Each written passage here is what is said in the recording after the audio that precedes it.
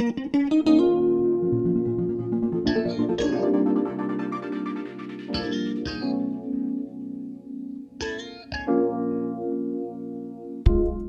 Fatimidi, una dinastia di origine berbera che regnò inizialmente da Tunisi, marciarono attraverso il Nord Africa per fondare l'attuale Cairo nel 969.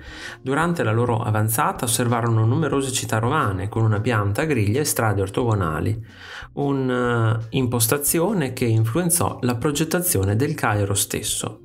Quando il generale berbero Jawar al-Sikhili progettò il Cairo, adottò il principio delle strade a griglia per costruire rapidamente la città. Le strade principali, strette e orientate lungo l'asse nord-sud, offrivano ombra costante, migliorando così il comfort degli abitanti. Inoltre una serie di cortili, dai vasti maidan istituzionali vicino alla via principale ai più piccoli cortili residenziali, facilitava il raffreddamento della città grazie alle correnti convettive. Subito dopo la fondazione del Cairo, i Fatimidi costruirono la moschea di Al-Azhar, strategicamente posizionata lungo la via principale. Questa moschea non solo serviva come luogo di culto, ma anche come centro dell'università Al-Azhar, organizzata attorno a un enorme cortile di marmo. Il cortile era circondato da un porticato con archi a chiglia incrociati che favorivano l'ingresso di aria fresca nell'edificio circostante. Due madrasa alle estremità della moschea contribuivano al sistema convettivo dell'intera struttura.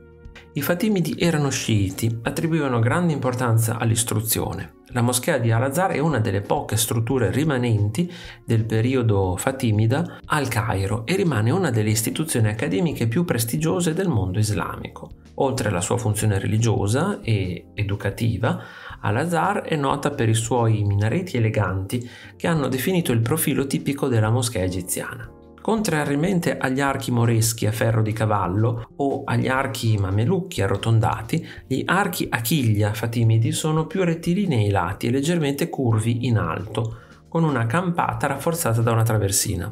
Questo stile è evidente nell'esterno di Al-Azhar, che nasconde un lussuoso cortile di marmo al suo interno, rispettando l'antico principio architettonico islamico di una facciata modesta con un interno opulento.